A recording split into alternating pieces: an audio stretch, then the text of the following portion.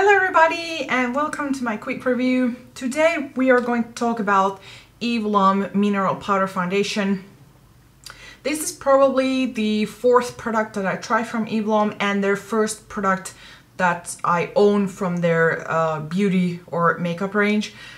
Um, I tried their concealer and their liquid foundation and unfortunately they were slightly too dark for me but um, this one seems to work pretty well to set foundations. Now, if you know or if you've been following me, then you know that I do not use powder foundations on their own. I don't like how they sit. I don't like how they look. I don't like how, uh, I don't know. I don't like it.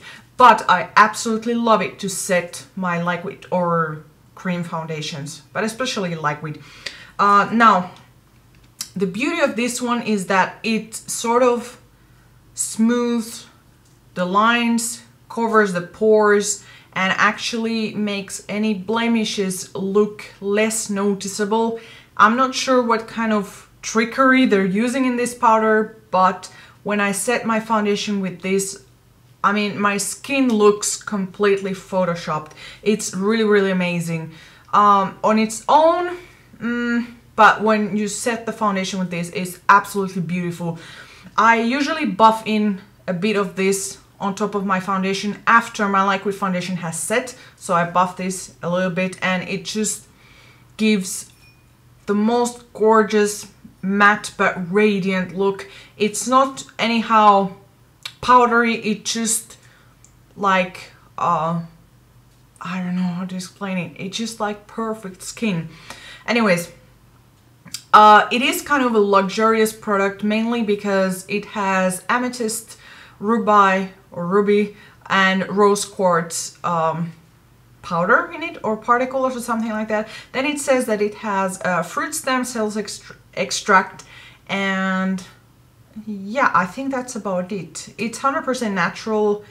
Um, it says that skin stays hydrated. That's true. It doesn't. It doesn't sit on dryness or it doesn't uh, make your skin feel dry after the hours.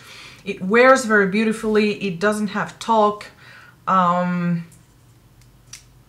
I think that's about it. But yeah, it is absolutely gorgeous. And this one in particular, it's around NW10 to 12, maybe even 13. This is what it looks like.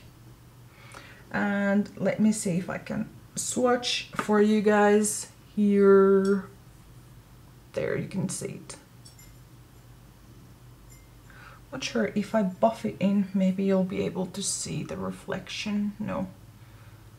But anyways, I absolutely love it. I think that it's a great uh, powder to set foundations and it also adds coverage. Now based on its own, at best it has medium coverage but if you're using a medium coverage foundation, liquid foundation, then you put this on top, then you will achieve a full coverage without necessarily the heaviness or the cakiness of a full coverage foundation.